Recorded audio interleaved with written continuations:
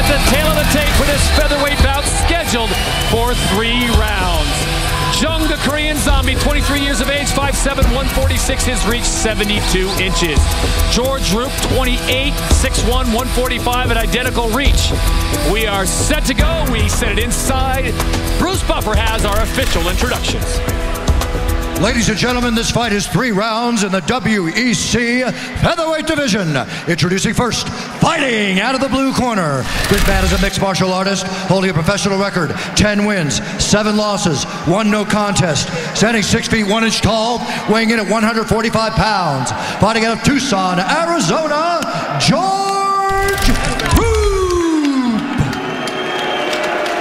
And now introducing his opponent, fighting out of the red corner, a mixed martial artist holding a professional record. 10 wins, 2 losses, standing 5 feet 7 inches tall, weighing in at 146 pounds, fighting out of Pohang, South Korea, the Korean Zombie, Chan Sung-jung.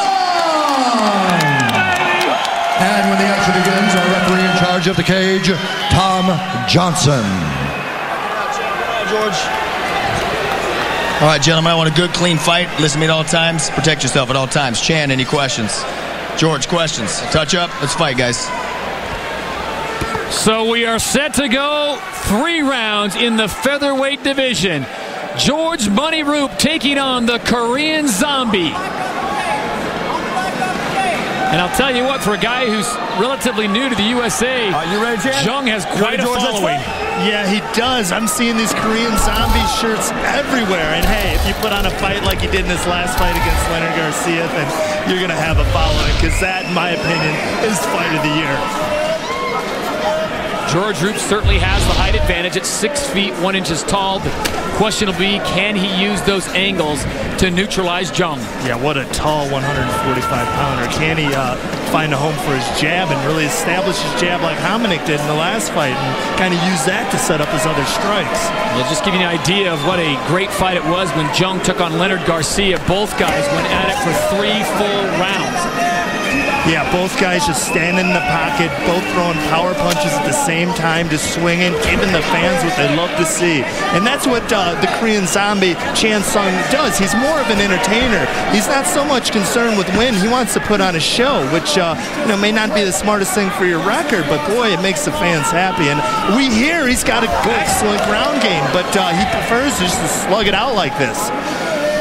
You know, on the way into the ring, he was holding like a severed, like dummy foot, like a, a leg, and I wonder if that was kind of uh, his way of saying he's going to try to get this fight to the ground and go after one of those long legs of George Roop and uh, maybe tap him out with a footlock. Right now, he just seems content to just walk forward and throw some big leather at George Roop. Yeah, he seems content being himself, his usual Korean zombie self.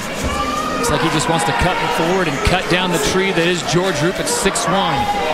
Nice uppercut there. He's got uh, a little mark on the right side of his Yep. cheek, does Chan Sung, and maybe from a left hook from uh, Roop.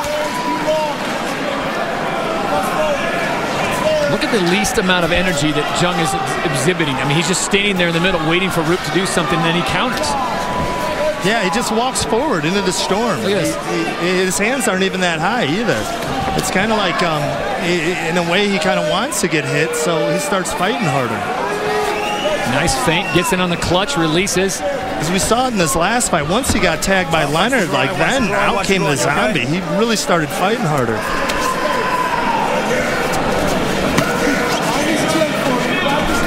George Roop bringing the big overhand right. There's Nice left jab. jab. If I were Droop's corner, I'd tell him just establish that jab. He's throwing a lot of overhand rights without jabbing first, but if he could keep hopping that jab and get uh, Jung to think about that, that's going to open up the home for that right hand.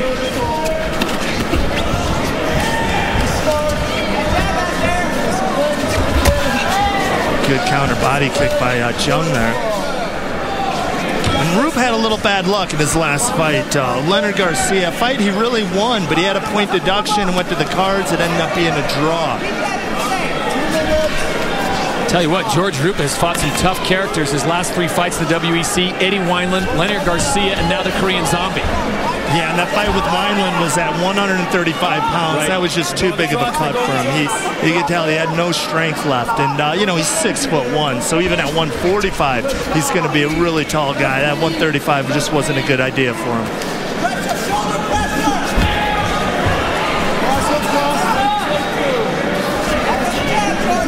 The Korean Fire, calm, collected, stepping forward, getting in range. Yeah, just so calm, almost like he's in a trance. So he's trying to get Roop to relax too and lull him into something. And there's that jab. I'd be throwing that all day if I were Roop. Roop doing a nice job of jabbing, moving left and right, not giving the Korean Zombie anything to hit. He is. He's starting to use his reach a little bit better. So at the beginning, he was throwing big overhands, a lot of power punches. Now they're slugging it out. Now he's dancing around on his toes, trying to lose his. Yeah, there's throwing the jab, throwing the straight, getting out of the way of shots. Under a minute to go here in round number one. This one's scheduled for three. Jung in the green trunks, George Roop in the black.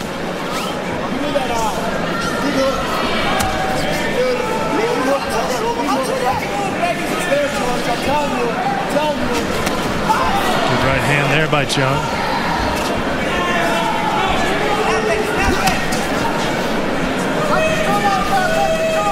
And Jung does not look like he's spending a lot of energy. Lands a stiff jab there. I wonder if he's trying to, you know, maybe get Roop to, to, to, to wear himself down a little bit so he could pour it on in the later rounds.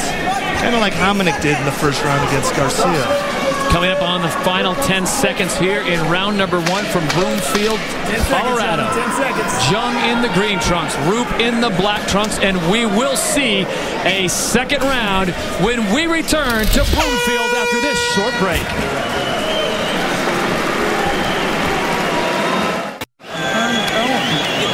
Back in Broomfield, the Birdman has landed. Chris Andersen and the Tap Out crew sitting cage side in a good one here in the featherweight division. Round number two, George Roop in the black trunks, Jung of Korea in the green trunks. Wow, big stiff left hand jab from George Roop.